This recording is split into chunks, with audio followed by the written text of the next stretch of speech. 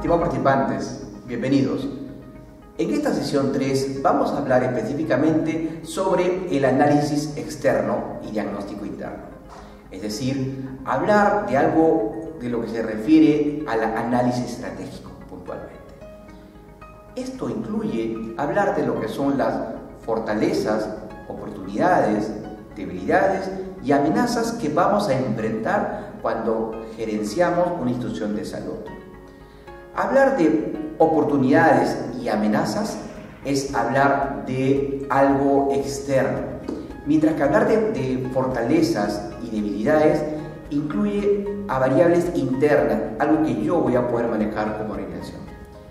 Sin embargo, tenemos que tener muy en cuenta que estas cuatro variables, fortalezas, oportunidades, debilidades y amenazas, tienen que estar de una manera articuladas.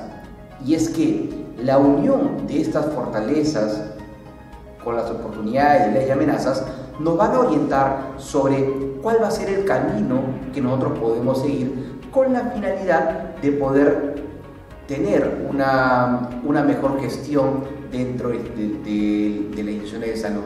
Y no solamente eso, sino también el poder diferenciarnos de la competencia. Bienvenidos.